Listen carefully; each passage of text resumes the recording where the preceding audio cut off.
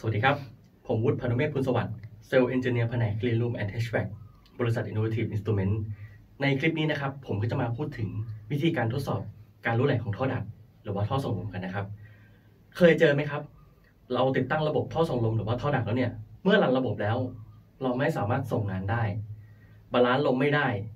ลมไม่พอ ลมหายไปไหน ทั้งๆที่เราก็ได้เลือกพัดลมตามที่เราดีไซน์ไว้ เคยเจออีกการไหมครับ เราใช้ระบบปรับอากาศระบายอากาศมาสักระยะหนึ่งทำไมค่าไฟถึงแพงขึ้นกว่าเดิม หรือเคยเจออีกไหมครับ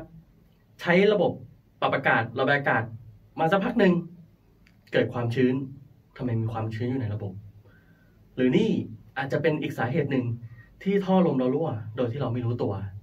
ถ้าพูดถึงเรื่องของท่อส่งลมหรือว่าท่อดักเนี่ยกับการรั่วครับ แทบจะเป็นเรื่องธรรมชาติเลยรั่วมากรั่วน้อย แล้วรั่วเท่าไหร่ล่ะ ถึงจะพอ และในคลิปนี้นะครับ ผมก็จะพาทุกๆท่านมารู้จักกับมาตรฐานสำหรับวิธีการทดสอบการรั่วไหลของท่อส่งลมกัน แล้วถ้าพูดถึงเรื่องมาตรฐานนะฮะมันก็จะมีอยู่หลากหลายมาตรฐาน เช่นกัน เช่น มาตรฐาน EN e u r o v e n s m a g n a แต่สำหรับคลิปนี้นะครับ ผมจะพาทุกๆท่านมาทำความรู้จักกับมาตรฐานวิธีการทดสอบการรั่วไหลของท่อส่งลม ตามมาตรฐาน s m a g n a กันครับ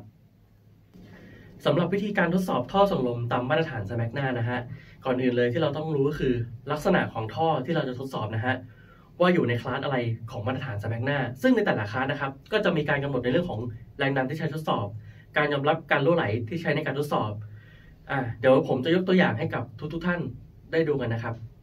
ยกตัวอย่างจากตารางนี้นะครับ ซึ่งเป็นตารางการแบ่งคลาสของการทดสอบการรั่วไหล ของท่อส่งลมตามมาตรฐานสมักหน้านะฮะ สมมติหน้างานของผม เป็นท่อตะเข็บประเภทสี่เหลี่ยม จากตารางก็จะอยู่ในคลาส B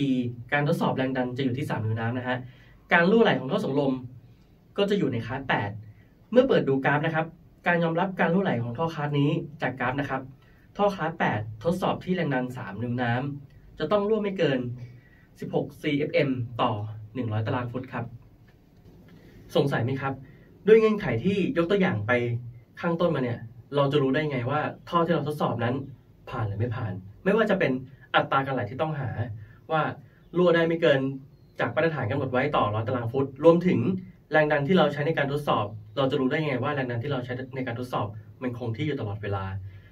และเมื่อถึงครบกำหนดเวลาทดสอบแล้ว เราจะรู้ได้ยังไงว่าผ่านหรือไม่ผ่าน ขั้นตอนที่กล่าวไปข้างต้นจะง่ายทันทีเลยนะครับ ถ้าหากเราได้เลือกใช้เครื่องไม้เครื่องมือที่เหมาะสมกับการใช้งาน ในการทดสอบการรั่วไหลของท่อส่งลมตามมาตรฐานสแมกหน้าอย่างเช่นเครื่องมือตัวนี้นะฮะเป็นเครื่องมือทดสอบการรั่วไหลของท่อส่งลมโดยเฉพาะ เป็นรุ่น TSI Panda 3C1 ซึ่งใช้สำหรับการทดสอบท่อส่งลมโดยเฉพาะ และนอกจากนั้นยังมีมาตรฐานต่างๆ มาให้เราได้เลือกใช้ เช่น EN e u r o v e n s m a g n a หลังจากที่เราเลือกใช้นะฮะเครื่องมือตัวนี้ก็จะวิเคราะห์ผลข้อมูลการทดสอบให้เราได้ทราบทันที ด้วยตัวเครื่องมือนะฮะก็จะมีอุปกรณ์ประกอบไปด้วย blower แล้วก็จะมีอินเวอร์เตอร์คอยปรับรอบเพื่ออัดลม และแรงดันให้คงที่ตามที่เราต้องการนะครับ นอกจากนี้เรายังมีเครื่องมือวัดแรงดัน และเซ็นเซอร์วัดอุณหภูมิของลมที่วิ่งผ่าน เพื่อใช้สำหรับการวิเคราะห์ข้อมูลนะฮะ รวมไปถึงเครื่องมือวัดอัตราการไหล เพื่อวิเคราะห์อัตราการรั่วไหลของท่อส่งลมที่เราทดสอบว่าผ่านหรือไม่ผ่านตามเวลาที่เรากำหนดไว้ เดี๋ยวเราจะมาดูตัวอย่างการทดสอบที่หน้างานกันนะครับผม ก่อนอื่นเลยนะครับ เราจะต้องทำการปิดหัวและปิดท้ายของท่อนท่อดัก ที่เราจะต้องทำการทดสอบก่อนนะครับ จากนั้นให้เราเจาะรูเสียบท่อเฟล็กเพื่ออัดลมด้านใดด้านหนึ่งก็ได้นะฮะสำหรับปลายท่อดัก รวมถึงให้เรายึดเซนเซอร์ วัดแรงดัน และวัดอุณหภูมิ มาดูในส่วนของตัวเครื่องมือวัดนะครับ ซึ่งตัวเครื่องมือวัดตัวนี้จะมีฟังก์ชันการวิเคราะห์ และการสรุปสำหรับการทดสอบท่อดัก โดยให้เราเลือก มาตรฐาน จากนั้นให้เราใส่ข้อมูลในเรื่องของพื้นที่รอบผิว ทั้งหมดที่เราต้องการทดสอบท่อ duct นะฮะ รวมถึง pressure ที่เราทำการอัด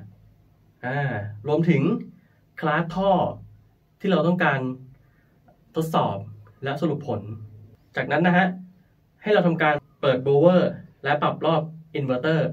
ให้ได้แรงดันตามที่เราเซตไว้นะครับ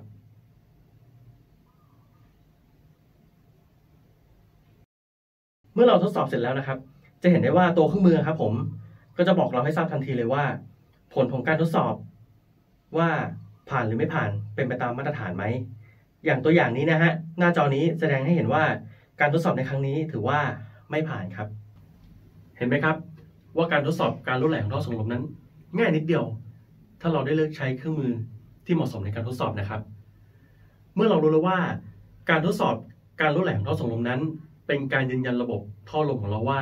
จะไม่มีการรั่วไหลเกินเกณฑ์มาตรฐาน ท่านจึงมั่นใจได้เลยว่า จะทำให้ท่านสามารถส่งงานได้ไวขึ้น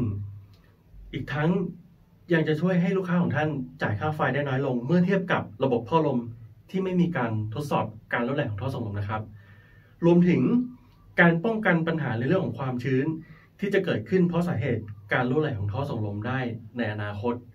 ผมมองว่าคลิปนี้คงจะเป็นประโยชน์ให้กับท่านผู้ชมได้ไม่มากก็น้อยสำหรับคลิปนี้ผมพานุเมฆพุนสวัสดิ์ขอขอบคุณครับ